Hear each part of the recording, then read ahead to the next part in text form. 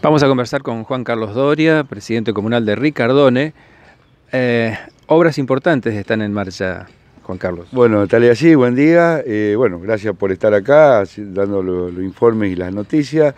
Bueno, eh, tal y así, nosotros venimos ya desde el 2016 eh, planteando la inquietud y la problemática que tenemos en nuestro pueblo sobre la, ruta La O12, donde bueno, siempre estamos más ya que, que no tiene que bajarse esta producción y tiene que ser mucho más, ¿eh? porque bueno, lo hace bien a todo, eh, a nuestra región. Eh, bueno, se ha conseguido, gracias a Dios, de, tanto reclamo que hemos hecho a Nación, a la Secretaría de Transporte, de la provincia y de la Nación, al gobernador, a Miguel Lichin, ante el problema de tanta cantidad de camiones, bueno, hoy se ha firmado hace dos días el, convenio en la Casa de Olivo con las empresas para la licitación eh, de esta nueva ruta del famoso PPP. ¿no?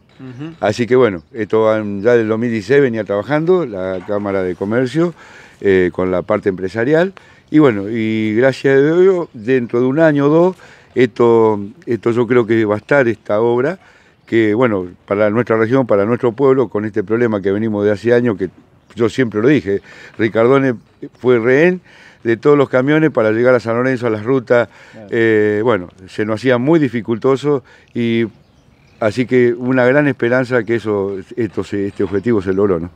Un desvío para los camiones, para que, digamos, en, una parte y otra de la A012, para que no pasen más por el centro del pueblo.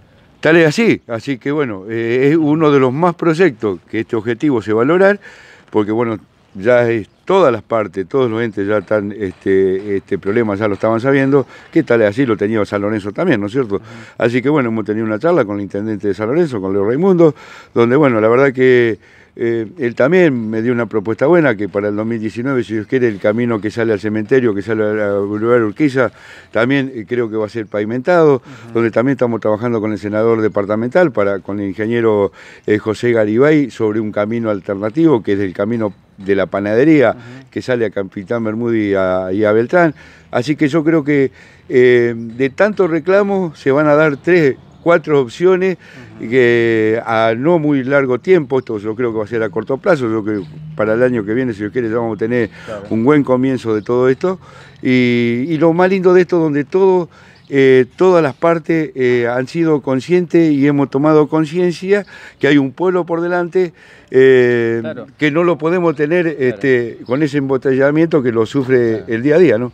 Aparte, la interconexión con Felipe Beltrán, con Capitán Bermúdez y otra con San Lorenzo eh, beneficia tanto a Ricardone como a las otras localidades. No, pero, nosotros, usted fíjese que nosotros desde hace años, como comuna, erogamos mm. de, prestación de servicios, eh, de inspectores, eh, guardia urbana, este, con la gente de tránsito, no te olvides que tenemos más de mil chicos que cruzan eh, sobre la ruta para ir a la escuela, porque nuestro pueblo divide una ruta y está partido en dos, ¿no?